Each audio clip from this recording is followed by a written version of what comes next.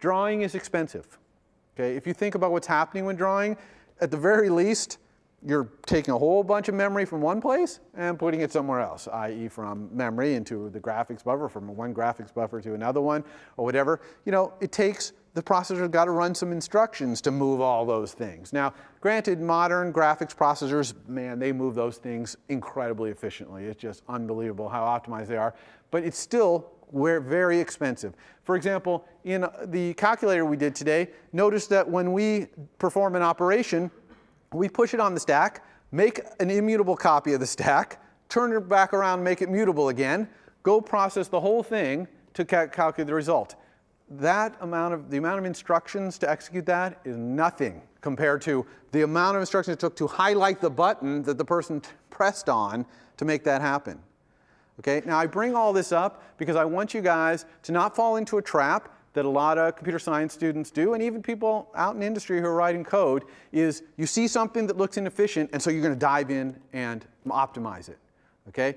Uh, when you do that and you're not thinking about where the time is actually going, that's called premature optimization. okay? Don't do that. Uh, you really want to think about the trade-off between, like look at the code we wrote in the calculator. Wasn't that incredibly simple code? I mean, our push operation was one line of code. Our, uh, our push operand was one line of code. Perform operation with two lines of code. The recursive thing to execute the stack was only like two or three lines. In fact, was probably only two lines more than we had before. Okay? So that code was super clean. Now, granted, yeah, it's copying arrays, but we know copying arrays is fast. We know that the arrays are small. Okay? You're not going to have someone typing in 100 operations and operands there, likely.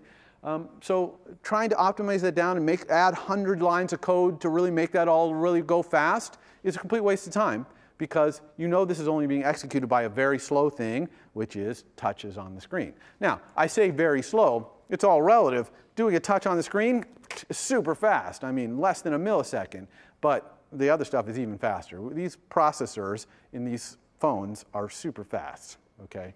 But make sure you got the right balance when you're doing performance. Everyone understand where I'm going with that? And I'll say that again a few times. Uh, we do not want to see code in your homeworks where you've added 50 lines of code to optimize something that is less than 1% of the processor time to do a certain task, okay? Um, and in fact, I'll use this opportunity to say another thing too, which is the programming uh, credo I live by is that the line of code that is the most elegant, has by far the least bugs, is the easiest to write, is the easiest for someone else reading your code to understand, that line of code is the code you never write. Okay? Fewer lines of code is better. That's what programming elegance is about. Okay? Designing your data structures and the way you approach things so that you have fewer lines of code. Not more, fewer. All right, I'll say that a bunch of times too.